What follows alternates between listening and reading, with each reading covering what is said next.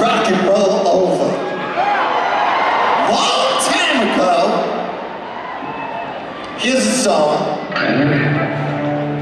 This one's called